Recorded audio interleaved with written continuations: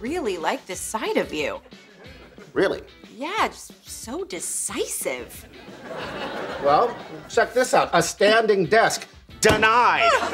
Welcome to Ms. Mojo, and today we're counting down our picks for the top 10 times Leonard was the best on The Big Bang Theory. Are you some kind of nerd? Not some kind of nerd. I am the king of nerds. For this list, we'll be looking at Leonard's shining moments, the time when the self professed king of nerds was the king of the show. Which Leonard moments stand out for you? Leave us a comment and let us know. Number 10. When he went camping with Howard and Raj, Leonard and his friends are far from the stoner types, but when he, Howard, and Raj unknowingly chow down on some pot cookies, Leonard has some pretty deep thoughts regarding his name. I hate my name. It has nerd in it. Len Nerd. The realization that Leonard has the word nerd in it really throws him for a loop, while throwing the audience into hysterical fits of laughter. The only thing better than Lenny's disappointment with his given name is his decision that a really cool name would be Angelo. You know what's a cool name? Angelo. That has angel and jello in it. We can't really argue with him given that Jello really does make everything better. People could call me Angie. Yo, Angie, how's it going? Number 9. When he stopped being a people pleaser.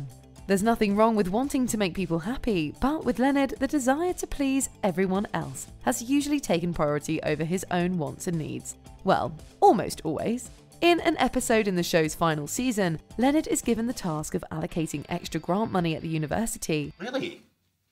Wow, what an honor. Thank you. So, uh, how do I decide who gets the money? How do you decide anything?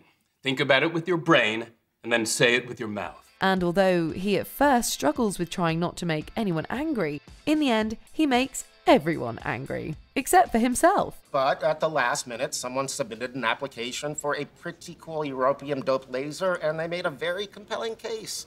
What was the case? Oh, that it was me and I wanted it. His final decision on who gets the money is a wonderfully selfish move that would and does make Sheldon proud. No matter what decision I made, people are gonna be mad at me, and this way, I get a laser. That is the most selfish thing you've ever done. I'm proud of you. I don't care. Yes, you do. Yeah, I do. Number 8. When he got Penny to see a documentary about a dam. You know, we haven't spent time alone together since we broke up. Oh, it's not a date, Leonard. It's just a man and a woman hanging out, not having sex at the end of the night. Sounds like most of my dates. In season 5, Penny and Leonard go out alone together for the first time since breaking up. The non date begins at the movies with Penny wanting to see the new Jennifer Aniston flick, which Leonard doesn't want to see. He almost goes along with it until he has a moment of personal strength and realization that he doesn't have to do whatever Penny wants. See, you know, that's the great thing. We're out as friends. This is not a date. Sex is off the table. So let's go learn why hydroelectric power might not be the environmental bargain you think it is. He stands up for himself and not only gets Penny to see a documentary about building a dam in South America, but she also pays for her own ticket. Tickets are 11 bucks. Not a date. Number 7. When he came up with the superfluid idea. We all know that Sheldon Cooper is a genius. He certainly isn't shy about telling everyone. You haven't spoken in hours, and I'm starting to get worried. Please say something. Leonard, prepare to be humbled and weep at the glory of my genius. Nope, it was better before. But in case you forgot, so is Leonard, and he proved it in the season 8 episode, The Troll Manifestation, when an idea about superfluids flashed in his head during dinner with Penny. Imagine R3 space as the surface of an n-dimensional superfluid bubble. This is exciting. This is really exciting. We're not sure we completely understand the idea or the physics behind it, but Sheldon certainly did, and boy was he impressed. And in the end, if a me wow cat sticker doesn't make you the best, then we don't know what does. It's not just a sticker. It's a sticker of a kitty saying me wow. I'm not a preschooler. What, fine, I'll take it back. I earned this. Back off. Number 6. When he questioned Sheldon the waiter. Did you remember to ask for the chicken with broccoli to be diced, not shredded? Yes. Even though the menu description specifies shredded? Yes. Brown rice, not white? Yes. Did you stop at the Korean grocery and get the good hot mustard? Yes. Did you pick up the low sodium soy sauce from the market? Yes. One of great running gags on the show is Sheldon's constant questioning of Leonard regarding the specifics of his food. And while funny, it's also extremely annoying. One has to be impressed with how Leonard puts up with it every time, although it might have to do with the fact that he dealt with the same thing from his mother. Oolong? Yes. Loose, not bagged? Yes. Steeped three minutes? Yes. 2% milk? Yes. Warmed separately? Yes. One teaspoon sugar? Yes. Raw sugar? Yes. It's cold. But regardless, one of the top Leonard moments occurs when Sheldon takes on the job of waiter at the Cheesecake Factory, and Leonard is able to give him a taste of his own medicine. Black beans, not pinto beans? Yes. Double guacamole? Of course. No cilantro? Nope. Lettuce shredded, not chopped? Yep. You understand why I'm doing this to you? I do. That'll be all. Number 5. When he tried to learn about football. Leonard is a brilliant guy with a variety of interests, but sport isn't one of them. Except for Quidditch and kite fighting, of course. I remind you that you're talking to the seeker, beater, chaser, and water boy of the third place Griffith Park Quidditch team. I know. Watching your boyfriend run around with a broomstick between his legs isn't something you forget. But when Penny doesn't invite him to hang out with her friends to watch a football game, Leonard takes it upon himself to learn the sport. With the help of Sheldon and a Football for Dummies book, he definitely learns the rules and technicalities of the game. I really appreciate this. Yeah, yeah. All right, Poindexter, sit down, shut up, and listen. I'm sorry? Uh, That's how my father always began our football conversations. Although relaying that knowledge in public in a way that isn't awkward, that he didn't learn. Oh, look at that. The Oklahoma coach has thrown down a red flag indicating he's challenging the ruling on the field. Hope he's right, because if he's not, it'll cost him one of his three timeouts. But you gotta give him props for making the effort. Number 4. When he bought Penny a car. When Penny decides to quit her job at the Cheesecake Factory in order to focus 100% of her attention on acting, Leonard is, well, shall we say, less than 100% supportive of the idea. You got your job back. That is great news. I, mean, I didn't want to say anything, but you are making the right choice. But to plunge yourself into debt right now would be literally insane. Yeah, I'm just returning my uniform. He wants Penny to be successful, but he's also a realist and not as willing to take the leap of faith Penny is. This, as you may imagine, leads to some conflict in the relationship. I'm not sure you should have quit. But if you care so much what I think, why didn't you ask me before you did it? Oh, so now I need your permission? Would you have asked me before you quit your job? Yes. But in the end, the romance ninja makes an amazingly romantic gesture and buys Penny a car so that she can continue to pursue her dreams. I thought we'd take yours. I don't understand. It's nothing fancy, but it'll get you to auditions, and at least for now, you don't have to go back to waitressing. They say that diamonds are a girl's best friend, but in this case, it was a used sedan, and it couldn't have been more perfect. Number 3. When he forgave his mother.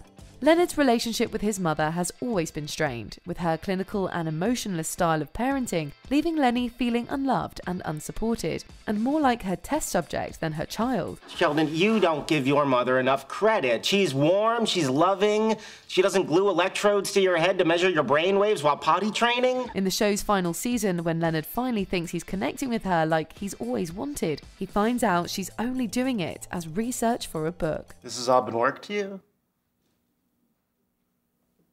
Hanging out with me and coming to my lab? I thought we were enjoying each other's company, but it was just research. Rather than once again internalizing it and being sad, Leonard finally confronts his mother and, in an even bigger emotional move, forgives her in order to heal himself. I forgive you. I didn't ask you to forgive Too me. bad. I forgive you anyway. And I forgive myself for taking so long to do it. It's a powerful moment that allowed Leonard to finally leave a lot of baggage behind him. Number 2. When he gave Penny a snowflake.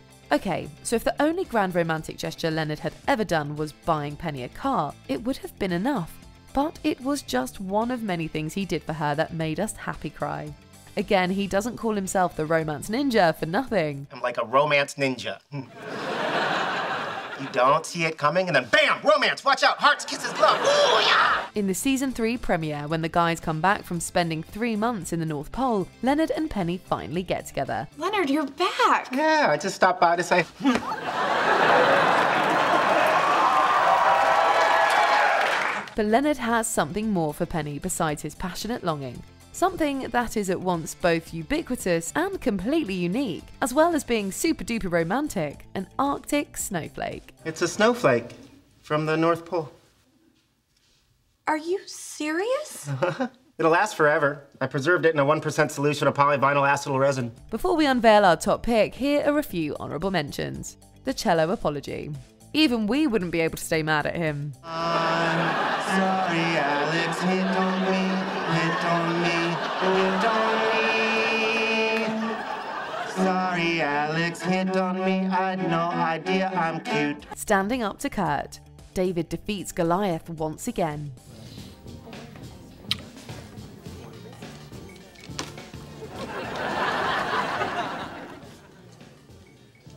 That's right, you saw what you saw. That's how we roll in the Shire. Getting a girl's digits in the comic book store. An accomplishment that gets him immortalised on the Wall of Heroes. Later. Did I just see you pick up a girl in a comic book store? Because if you did, you get your picture up there on the wall of heroes. Before we continue, be sure to subscribe to our channel and ring the bell to get notified about our latest videos. You have the option to be notified for occasional videos or all of them. If you're on your phone, make sure you go into your settings and switch on notifications. Number 1. When he cried with Sheldon. For all the jokes Leonard makes, and for as difficult as Sheldon can be, these two really are the best of friends who, as Leonard explained to Professor Proton, need each other. You know what? Sheldon is the smartest person I have ever met. He's a little broken and he needs me. I guess I need him too. This is captured perfectly in one moment in season 8 as the best friends talk about living arrangements. Leonard lets out all of his built up frustrations about not being able to live with the woman he loves because of Sheldon. I don't live with the woman I love because of you. No other reason, just you. Is that true? Yes, it's true. The last time I brought it up, you had an emotional breakdown and got on a train and ran away. And Sheldon, in a rare moment of emotional honesty, breaks down the thought of not living with his best friend. Which, of course, makes Leonard cry as well. I'm aware of how difficult I can be, so I just want to say thank you for putting up with me. Buddy. Even though they do eventually stop being roommates, as Sheldon tells Leonard at the former's wedding. After today, you are officially, and more important, legally, Amy's problem. Don't be silly, Leonard. I will always be your problem. Do you agree with our picks? Check out this other recent clip from Ms. Mojo. And be sure to subscribe and ring the bell to be notified about our latest videos.